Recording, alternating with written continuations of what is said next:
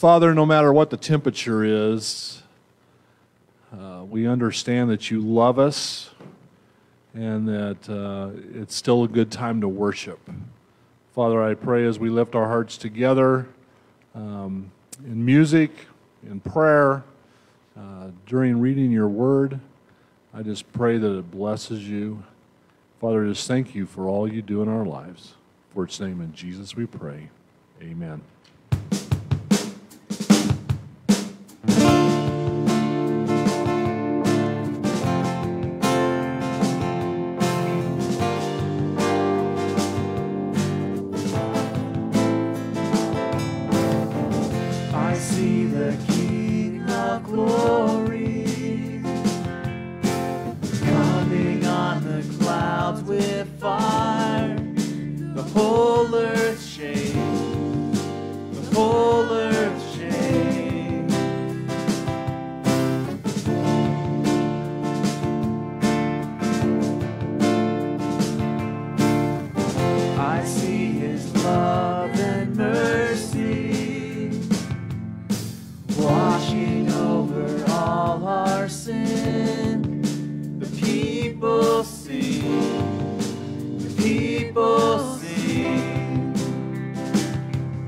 Jesus.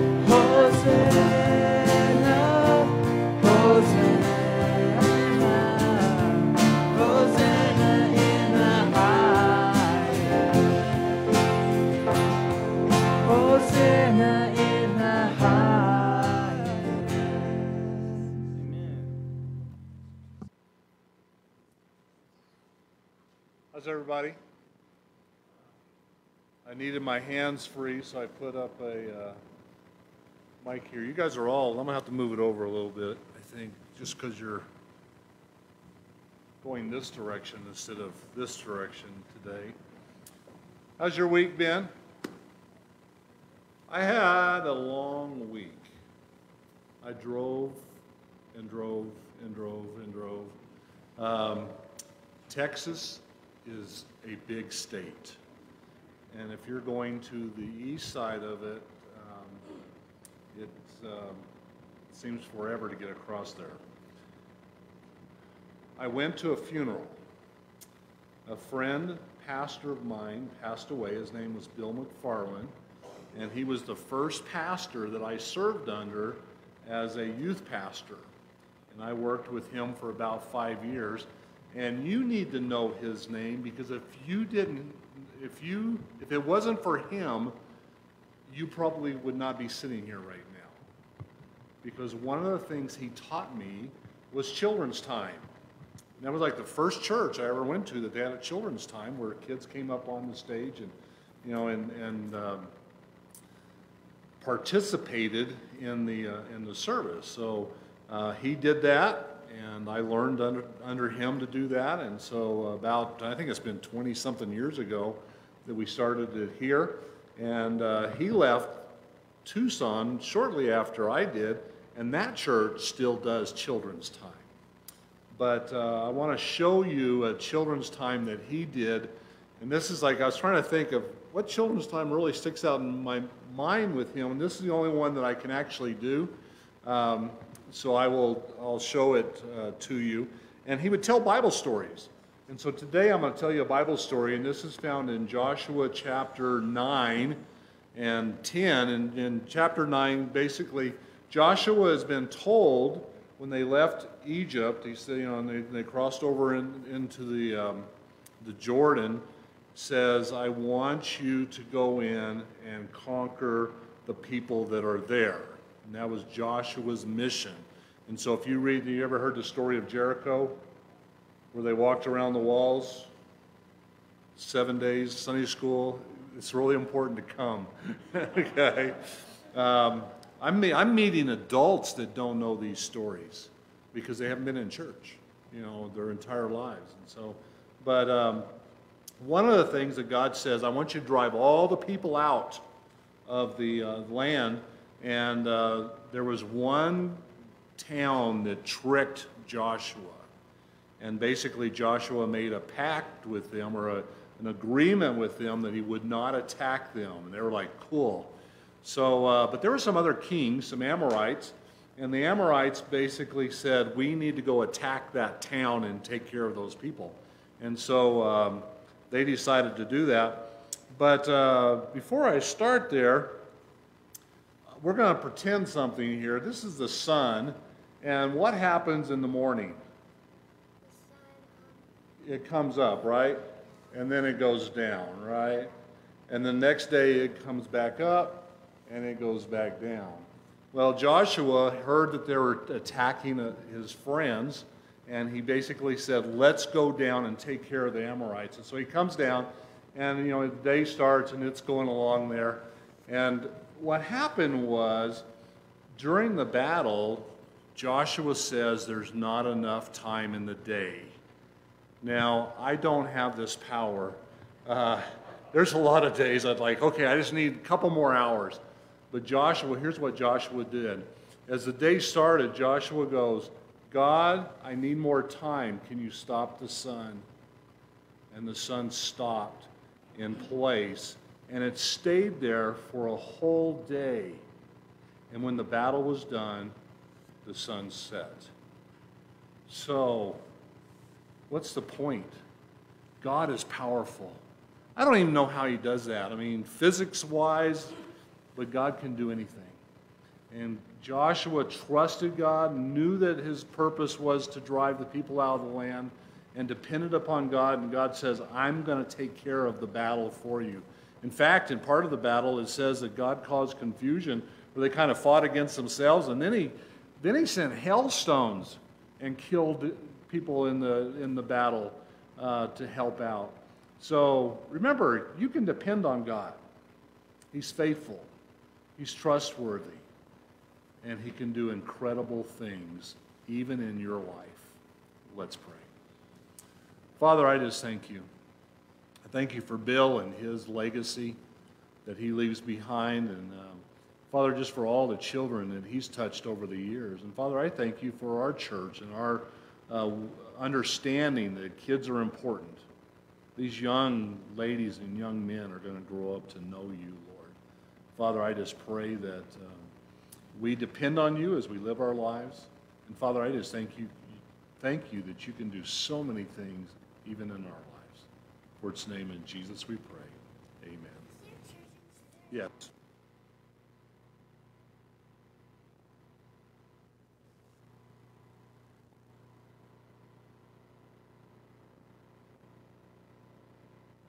Thank you, Ted.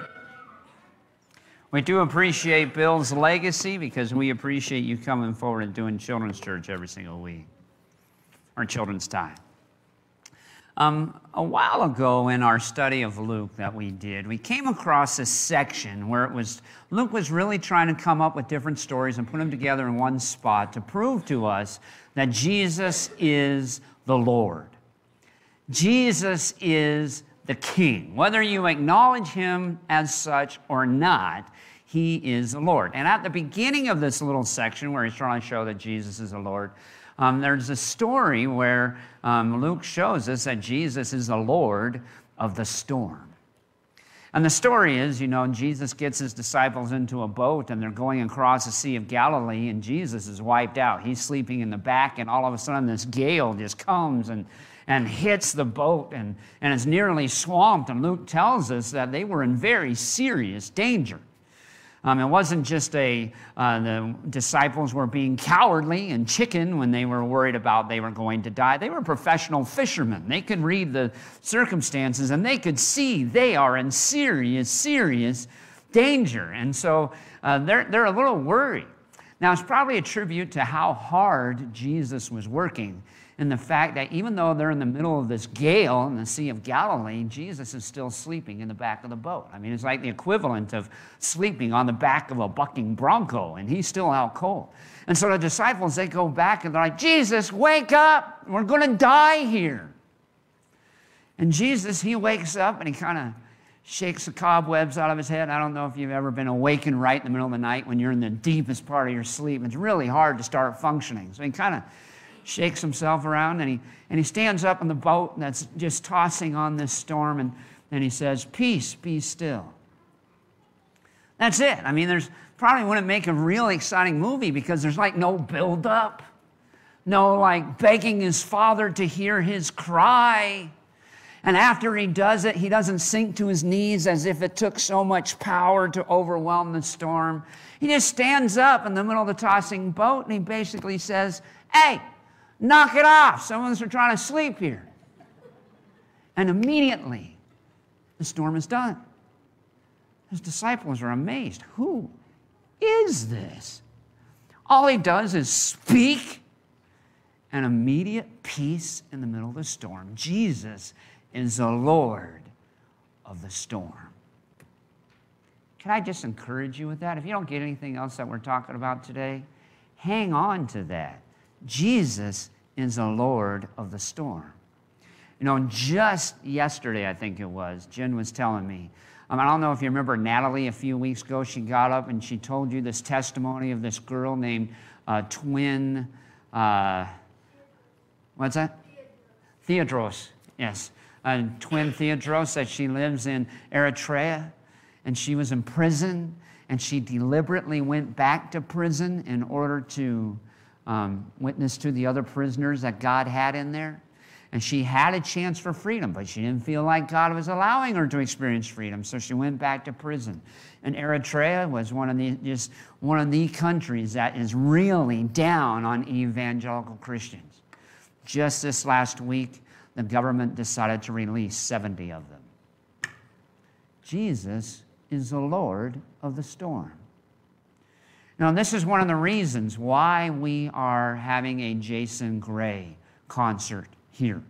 Um, if you see in your bulletin, I, I came a little bit late, so I don't know if uh, Ted Pate announces that it's actually on the 7th and not on the 8th of April, but it's going to be in our south parking lot.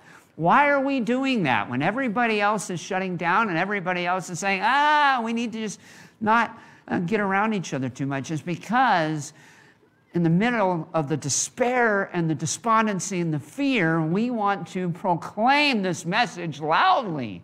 Give encouragement, give hope, give victory of Jesus is the Lord of the storm.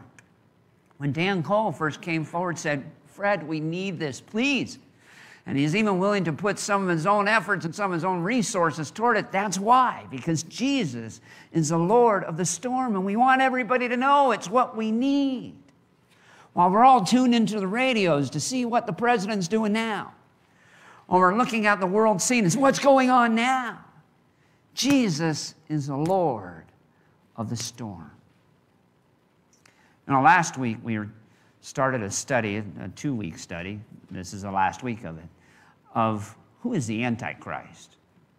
Now, we looked at some characteristics of who this guy is going to be last week. We're going to look at a couple more characteristics today, but really we're going to also see what is he going to do.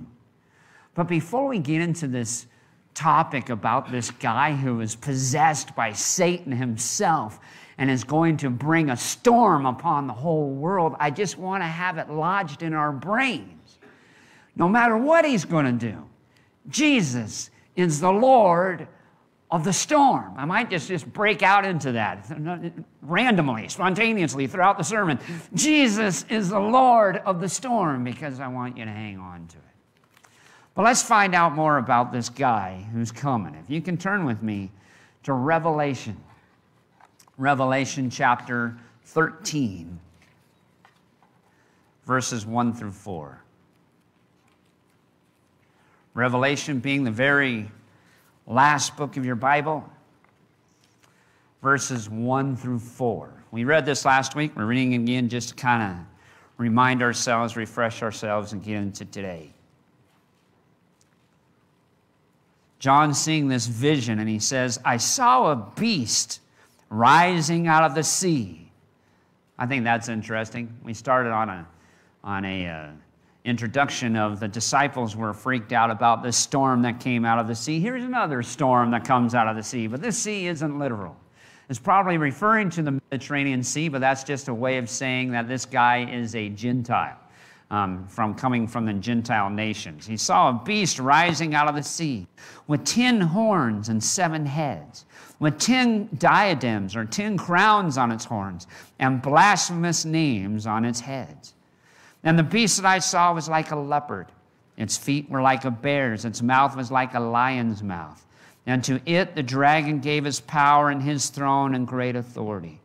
One of its heads seemed to have, seemed to have a mortal wound, but its mortal wound was healed, and the whole earth marveled as they followed the beast. And they worshiped the dragon, for he had given his authority to the beast. And they worshiped the beast, saying, Who is like the beast, and who can fight against it? And we talked about last week what it meant that this thing looks a little bit like a leopard with bear's paws and a lion's mouth. That's a, a, nod to the fact that he's going to have aspects of it from these different kingdoms that we've seen in our past history. Um, he's going to look a little bit like Alexander the Great's Greece. He's going to have aspects within him of ancient Medes and the Persians, and he's going to have the boldness and the arrogance, a little bit of uh, Nebuchadnezzar's Babylon. So we talked about that last week. What I really want to kind of zone in on today is the fact that this thing has seven heads. And one of these heads has a mortal wound that looks like it's been healed. And that just all by itself causes everybody to be amazed and, and to wonder. And that's such a major aspect for John. He mentions that like three or four different times. The world was amazed because his, his wound, he, he healed from this mortal wound. What is that? Well, John tells us a little bit more. He clarifies for us just a little bit. Not enough for my taste, but he does tell us a little bit more about what this thing is with the seven heads in Revelation chapter 17. So if you can look to chapter 17, verses 6 through 8, this is what he says. And I saw the woman, this is a great harlot named Babylon, drunk with the blood of the saints, the blood of the martyrs of Jesus. And when I saw her, I marveled greatly. But the angel said to her, Why do you marvel?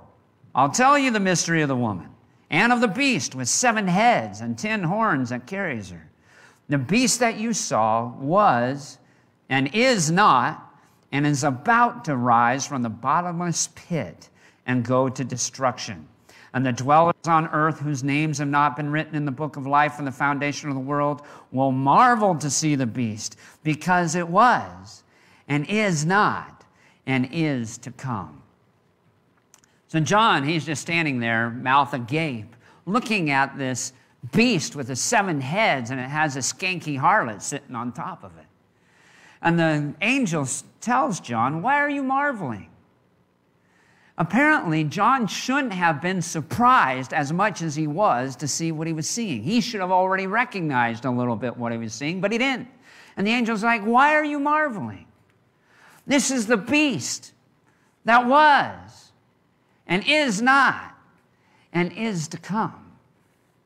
So apparently, this isn't something that's brand new. This is something that has been seen in one form or another before. And it wasn't in existence right then, but it was coming again. In other words, John, you shouldn't be surprised. You should recognize this thing because if you've been paying attention, you would know it's been around in world history before. Now, what is this angel talking about? Is it a form of government that used to be around? And it was coming again like imperialism or something? Is it a particular nation? Is it a cultural mindset? Is it a particular historical character? Here's the bad news the angel doesn't say. Here's the good news we can still apply it. You know, right, that all throughout human history since the very beginning, God has preserved a revelation of Himself, His ways, and his standards. My God does not stutter. All throughout human history, he has made it very, very, very clear this is right and this is wrong. Even if you were in a culture that didn't know how to read and you didn't have scriptures, he still wrote it on every human heart. This is right and this is wrong. And I just gotta believe that if people would have clung to that, if all these cultures would have clung to who God is and his standards and his morality and his definition of right and wrong, that he would do the work of protecting us from any kind of the beast in any form. But what have we done ever since the very beginning? We forsake what God clearly says is right and wrong, and we exchange that for Satan's latest temptation, which is really not the latest temptation at all. All it is is a rehashing of what he came up with a very long time ago. It's just that we're so stupid, we keep running for it. We keep falling for the exact same worn out tricks, and because of that, he's going to be able to bring forward a beast that apparently he's already brought forward before. And this beast will gain such power. So many times when you read about any kind of indication of the Antichrist, whether you're reading in Daniel or whether you're reading in Thessalonians or you're reading in Revelation, there's always some little phrase in there that is coming about in the midst of the rebellion. In other words, people are already rebelling against God on a massive scale. The beast doesn't lead you to do that. We're already doing that. And because we're already doing that, because we've already brought such confusion and such division into our own lives by insisting on doing things our own way, it's like this vacuum to where the beast is just able to step in and say, Don't worry, you messed up your lives. I'll save you. I'll take it from here. And because of just the way God works, there's sometimes when He'll say, You know what? I'm going to let Him do that. Whatever beast of whatever form the beast is coming, he's been here before. He's coming again. Our job is to read this. Learn this. Meditate on this. And if we would fill our lives with this and follow this, we can be strong enough to where when whatever beast is coming, whatever he looks like, he just doesn't get a grip on us. Because we're refusing to follow for Satan's same old tricks again. Now, it is interesting what he says these seven heads are. So we're going to keep reading in chapter 17, verses 9 through 10. This calls for a mind with wisdom. The seven heads are seven mountains on which the woman is seated. Okay. This one actually isn't too hard. It gets confusing. This one isn't too bad. That word mountains can also be translated as hills. And when the angel basically says this is seven hills, that would be basically the equivalent to me telling you, let me tell you a little vision or a parable about the Big Apple. When I say the Big Apple, what are you immediately thinking of? New York City. Rome was known as the city of seven hills. And so the, the angel says this, John writes this down. That's what his, his original audience would have immediately thought of. Somehow, this beast has to do with Rome. Somehow, Rome is going to have a it's going to characterize this entity that's coming back someday. But this isn't the only time that the Bible gives this kind of an indication. If you can turn with me to the book of Daniel, Daniel chapter 9. Keep your finger, though, in Revelation, because we're going back there again. Daniel chapter 9, this is found on page 747 if you're following along in your foyer Bible. Page 747, or it's to the right of Psalms. Isaiah, Jeremiah, Lamentations, Ezekiel, Daniel. Verse 24. 70 weeks are decreed about your people and your holy city to finish the transgression to put an end to sin and to atone for iniquity, to bring in everlasting righteousness, to seal both vision and prophet, and to anoint a most holy place. Know therefore and understand that from the going out of the word to restore and build Jerusalem to the coming of an anointed one, a prince, there shall be seven weeks. Then for 62 weeks it shall be built again with squares and moat, but in a troubled time. And after the 62 weeks, an anointed one shall be cut off and shall have nothing. And the people of the prince who is to come shall destroy the city and the sanctuary. Its end shall come with a flood, and to the end there shall be war. Desolations are decreed. Now, I don't have a hard, long time to talk about the 70 weeks, what that means, the interpretation that I think is true. This is what I want you to focus on. After this appointed period of time, this anointed one is going to be cut off and he's going to have nothing. And if you do the math according to what I think Daniel was having in his vision, what he was foreseeing down to the exact year was the crucifixion of Jesus. It's amazing. Hundreds of years previously, Daniel nails it down to the exact year on the calendar of when Jesus is going to get crucified. But then he says, after this, the people of the prince who is to come will destroy the city and the sanctuary, which in the Bible that usually means the temple. Well, know that at this time, Daniel didn't have a temple in Jerusalem. It had already been destroyed when Nebuchadnezzar came and burned down the whole thing.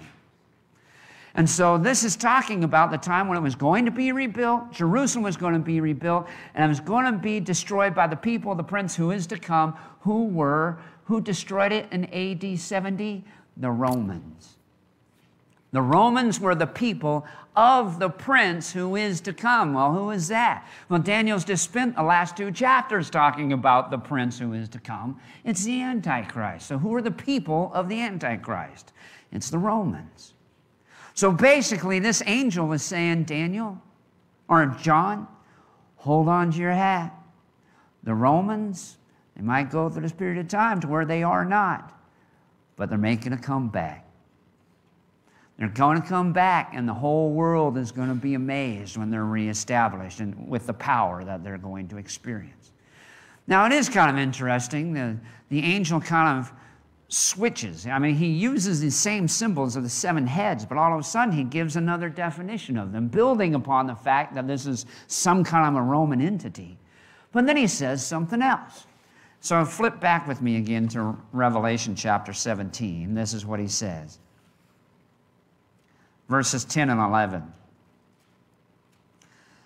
They are also seven kings, five of whom have fallen. One is, the other has not yet come. And when he does, he must remain only a little while. As for the beast that was and is not, it is an eighth, but it belongs to the seven, and it goes to destruction. So these seven heads aren't just the seven hills, they're also seven kings. And five of these kings have already passed on. One is in existence when John's having this vision, and one is still coming. Now, here's a little bit of Fred theory. First of all, Fred theory meaning I might be wrong. Some day God might really say, Fred, what are you thinking? But I think he understands because he made it confusing. but here's what I'm thinking I'm thinking, since this is based on something Roman, these seven kings, it makes sense to me that they would be seven Roman kings or Roman emperors. And it is intriguing to me. I had to look up a little bit of Roman history on the internet, and this is what I found. Here you go. This is on the screen. This is an artist's rendition of the beast that I just thought was cool. Uh, but I'm the one that labeled it because I just wanted some kind of a visual to come, where we can kind of keep track of what's going on. But do you know that from the beginning of the uh, New Testament to the time of John, there were involved these six Roman emperors Augustus, Caligula, Nero, Vespasian, Titus, and Domitian. Now, there were actually more than these six. I picked these six out of the 11 that there were in that period of time because they set themselves apart. They distinguished themselves somehow. There's something that made Augustus, Caligula, Nero, Vespasian, Titus, and Domitian different than all the other emperors of their era. Do you know what made them different in the same way that the Antichrist is going to be different? These guys had the nerve to say, I am a God. And by the way, it would be wonderful if you worshiped me as a God. Did you catch when chapter 13, John said that they all have blasphemous names written on them? What could be more blasphemous than you standing in God's face and saying, Oh, by the way, I'm you? These guys all said they were God, and just guess how many had died by the time that John had this vision. Five. Remember, the angel said, five of them are gone. One of them is in existence now. So at this point, Augustus, Caligula, Nero, Vespasian, and Titus, they were gone. Domitian he was still in control right now. As a matter of fact, he's the one that threw John on the island of Patmos in the first place. So there is one that is, and there's one that's still coming. And that one that's still coming is one that's so confusing. I put on the initial reign of the Antichrist. And this is why I say that, because the angel says something really it's like, what? If you want to reveal something, why don't you speak a little plainer? But he says, you know, um, it's an eighth king that's yet still part of the seven. So, how can he be the seventh king and an eighth king at the same time? Well, if you add that little morsel of confusing information, to what it says about Revelation chapter 13, where it says that one of the seven heads received a mortal wound, but he was healed, and he just makes the world so amazed. Well, and then you kind of have the theory that's became very popular through Tim LaHaye and the Left Behind series. Anybody in here read Left Behind series? Watch some of the movies? All right. Um, he's a dispensationalist, so you already know what I think about Tim LaHaye.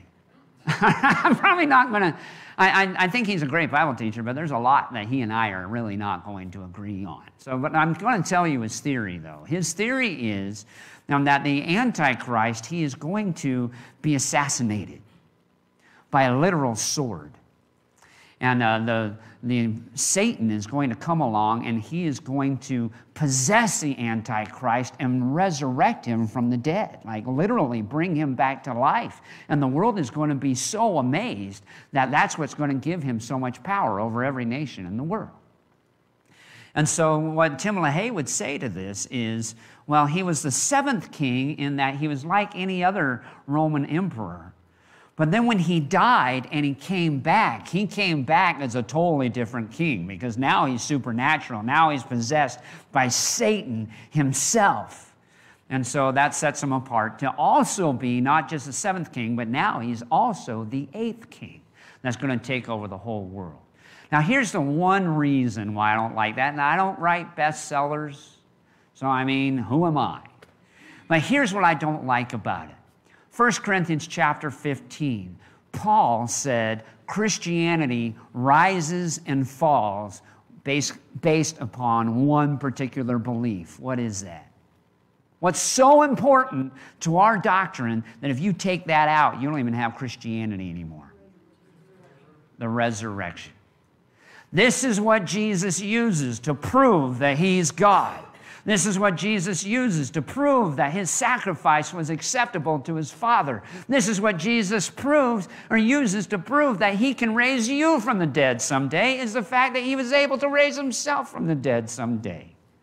And I just get a little icky in my stomach thinking that God's going to give Satan the power to do the same kind of thing that sets Jesus up as proof that he's God.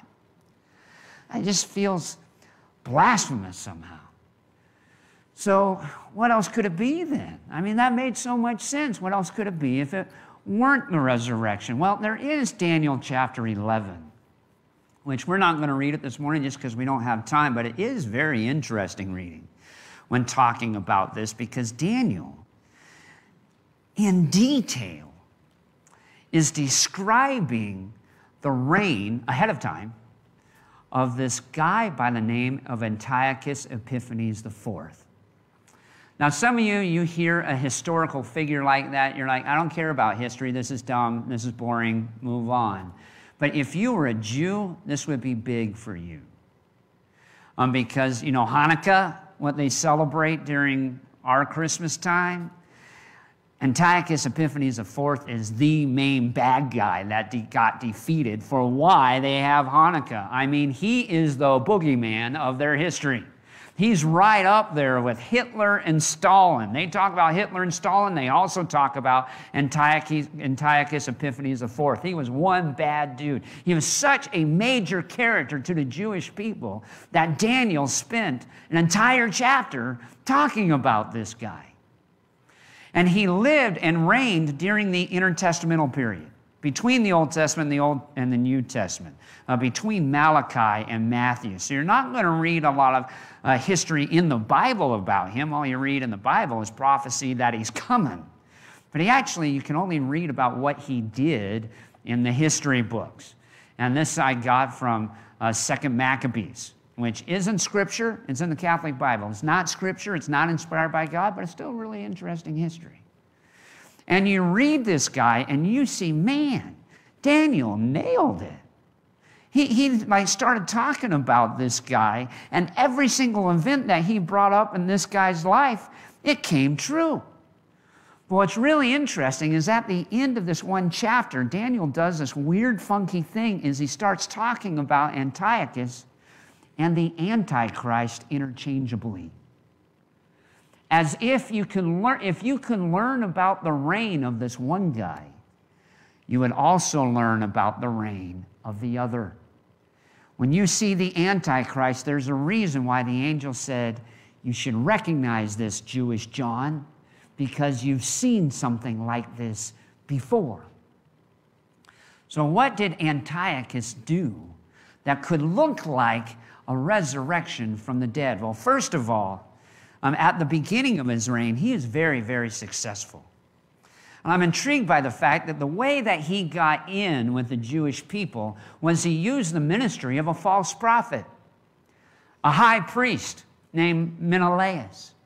And Menelaus wanted to get in good with Antiochus because uh, he wanted the power of the high priesthood. So he uh, dedicated all this money to Antiochus, and he ended up leading all of Israel to following Antiochus as their king. And Antiochus, he got in good with the people by being a good liar. He was a master of intrigue, and he deceived a whole nation into thinking that he was exactly who they needed. But Antiochus, he got a little greedy and he wanted more power. So he attacked Egypt for the second time. The first time he did it, he was very successful. He plundered Egypt, carried off all kinds of treasures. He got very rich. So he decided, I'm going to do it again. So he goes and attacks Egypt again. But the second time, we learn from the book of Second Maccabees, he gets spanked. Just like Daniel predicted, if you read Daniel chapter 11, Rome gets a call from Egypt that says, Help us! And Rome sends these ships over and he stops Antiochus in his tracks and he gets spanked so bad that the rumor actually reaches Israel Antiochus is dead. Now, all these people in Israel, they're like, well, we didn't like him anyway. Uh, he, we followed him for a while because this false prophet, but we didn't really trust him. So now let's get rid of the false prophet since Antiochus is gone. So they start working against Menelaus. And to their dismay, Antiochus wasn't really dead. He shows up suddenly at the city gates and says, Hey, why are you messing with my high priest? And he just goes on this killing spree. Every single Jew he comes across, he slaughters them man, woman, child. With the help of his false prophet, he plunders the temple. He takes all its treasures and he commits what Daniel refers to as an abomination of desolation. And he sets in the middle of the temple this big statue of Zeus and says, This is now your God, worship him. So you see with this that it looked like Antiochus was dead, that he experienced this mortal wound for war, but actually, he comes back in full power. He's restored. And everybody's amazed. How did he do that? Now, would you see why I would think, Bible students like me also think, that if you see and learn about Antiochus, you can learn a whole lot about the Antichrist because doesn't a lot of his stories sound familiar? Just like the anti, or just like Antiochus, the Antichrist is going to start out very, very successful. Just like Antiochus, the Antichrist is going to use the ministry of a false prophet to deceive the entire nation of Israel. And chances are this false prophet is even going to be a Jew. You know, if you read Revelation chapter 13, whereas the beast comes from the Gentile sea, the second beast, this, this creature that has like two horns and in the mouth of a dragon, but he looks like a lamb and he's the false prophet, he comes from the land. And some Bible teachers say, well, that means that he's a Jew leading his own people astray, trying to get them to follow the Antichrist, just like Menelaus tried to get his people to follow Antiochus. And if it follows the pattern, chances are what's going to happen is the Antichrist, in his quest for power, he's going to wage war to try to get more and more glory and more and more uh, influence and more and more riches. But maybe he's going to get spanked. Maybe he's going to get spanked so bad that it's going to look like he gets killed. To where the Jews are like, well, good, we don't want him anyway. Let's get rid of the influence of him in our country. But to their surprise, he's going to come back. And I think that could be when Daniel chapter 9 happens, to where it talks about how the people made this covenant with the Antichrist for a period of seven years. And right in the middle, he just breaks it. He sets up this abomination of desolation that Paul describes in Second Thessalonians, to where he doesn't set up a statue of Zeus, he sets up himself. Where he's like, hey, who are you to rebel against me? I'm God. And then he just goes on this rampage, slaughtering Jews left and right to where it is the worst time of tribulation the nation of Israel has ever experienced. And this is what I believe Jesus was referring to in Luke chapter 21, to where he basically describes, you know, this guy is going to come and bring a living hell upon your heads. If you can turn with me to Luke 21.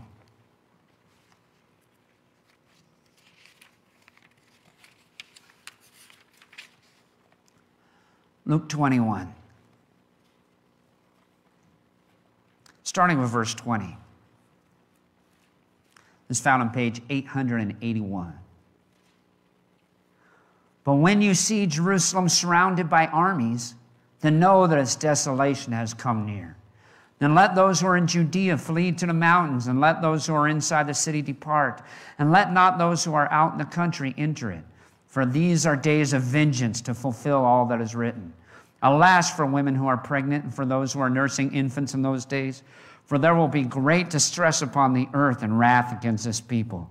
They will fall by the edge of the sword and be led captive among all the nations, and Jerusalem will be trampled underfoot by the Gentiles until the time of the Gentiles are fulfilled. Now, when Lou preached for us a few weeks ago, a few months ago, um, he talked about this, about how, in a way, this has already happened. He's absolutely right. In AD 70, the Romans, the Romans came against Jerusalem, and it was horrible. I mean, they burned down the temple. They slaughtered Jewish citizens in the street. Like a million Jews died during this. A million, a million innocent Jewish men, women, and children were slaughtered in the streets, and their blood just flowed. So, absolutely, this is referring to that. And because people didn't believe Jesus, they were part of the slaughter. If they would have listened to what he had to have said, what he was saying, um, just as soon as uh, they saw things going on, they would have, they would have run. Uh, and they would have run to the mountains like Jesus did. And anybody that did that, they were saved. But anybody that didn't believe Jesus thought they could save Jerusalem. They were slaughtered in the streets. It was, it was horrible. But I don't think that's the full fulfillment of this passage. Why? Because he says here, Jesus says that um, Jerusalem's going to be surrounded by armies. In AD 70, they were only attacked by Rome and whoever Rome could recruit, but it's really only one army. Someday it's going to be armies, and Zechariah chapters 12, 13, and 14 clarifies for us someday Jerusalem is going to be surrounded by every nation in the world. And that has not happened yet. It's going to be bad. It's going to be horrific. I personally don't think that we're going to be, you and I, Christian, are going to be involved in this, that we're going to be surrounded in Jerusalem. I think we already got our hands full because all the nations hate us wherever we are. This is, in particular, an attack against the Jewish people to where the Antichrist is just going to vent his rage but can I just go back to where we began? Jesus is the Lord of the storm. You know, the end of Revelation talks about how Jesus isn't going to put that put up with that forever. He is going to stand just like he stood in that boat. He's going to come down, everybody's going to see him come down, and he is just going to speak. He doesn't have to go around swinging swords and act like make a ninja guy. He doesn't need his armies that are riding in behind him. They're just there to watch. All he has to do is speak. And immediately, the Antichrist is brought down. All the storm, all the wrath that he's causing, all the trouble is immediately stilled. And Jesus brings his peace. I know privately, maybe not so privately, some of you are like, Fred, why do you keep talking about this stuff? We don't care. We don't really understand it. It's weird. It's beyond us. Why talk about it?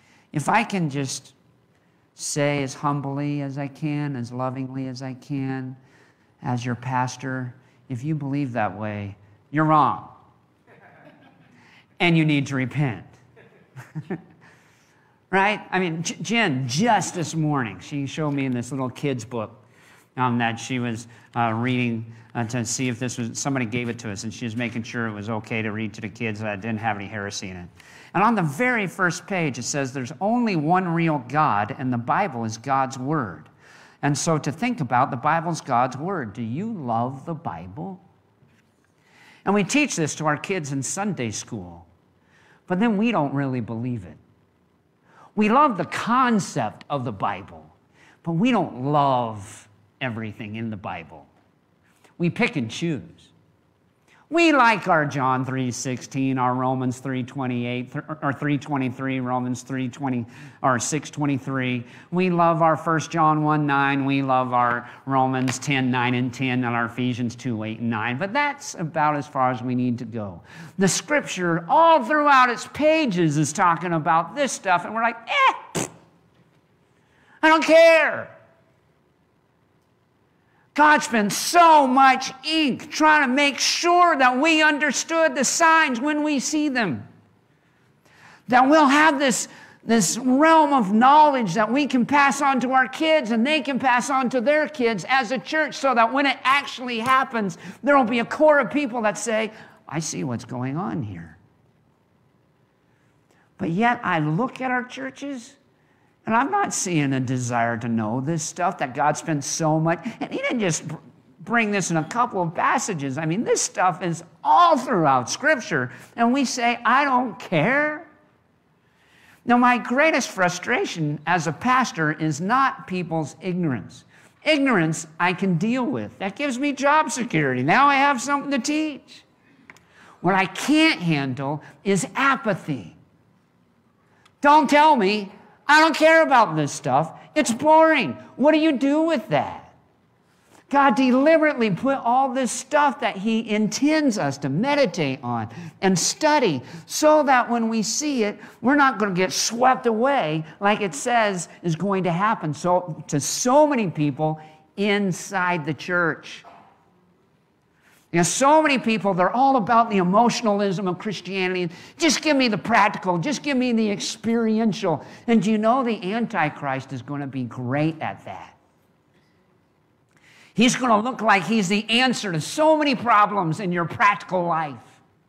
He's going to look like he can feed you emotionally. He's going to be charming. He's going to look good. Satan is a great liar. And to all these apathetic, ignorant Christians that don't even know what God spent so much time writing about, he's going to look good and they're going to get swept away with everybody else. And God's like, no, not you. You learn this stuff. You meditate this stuff. You hold on to this stuff and teach it to your kids for crying out loud enough to where they can teach it to their kids so that when it happens, there's a core that will stand faithful to me when everybody else is led astray. Saying that, yes, we need to study this stuff, but we got to be careful about focusing only on the bad of this stuff. Yes, learn about who the Antichrist is going to be so that you can recognize him, so that you can recognize his spirit that's alive and active today. But don't forget, Jesus is the Lord of the storm. He's not up in heaven biting his fingernails and saying, Oh, I hope the bad guys don't mess up everything I have planned. I hope they don't hurt my people too badly. He knows someday, at the appointed time that my Father has set, I'm coming. I'm going to speak one thing, and that's going to stop it all. Jesus is the Lord of the storm. And probably, hopefully, you and I are not going to live to see the day of the Antichrist. I just really hope that's true. But it's still worth studying, not only to teach your children, but just because you can see illustrated by studying it Jesus' power. And if you can believe that Jesus has the power to stop the most amazing, powerful, awe inspiring entity that the world can possibly conjure, you know that Jesus is also capable of handling whatever you're going through right now if he can handle the Antichrist and a one world government that dominates every nation on the planet, He can handle the storm of your finances. He can handle the storm that is your family.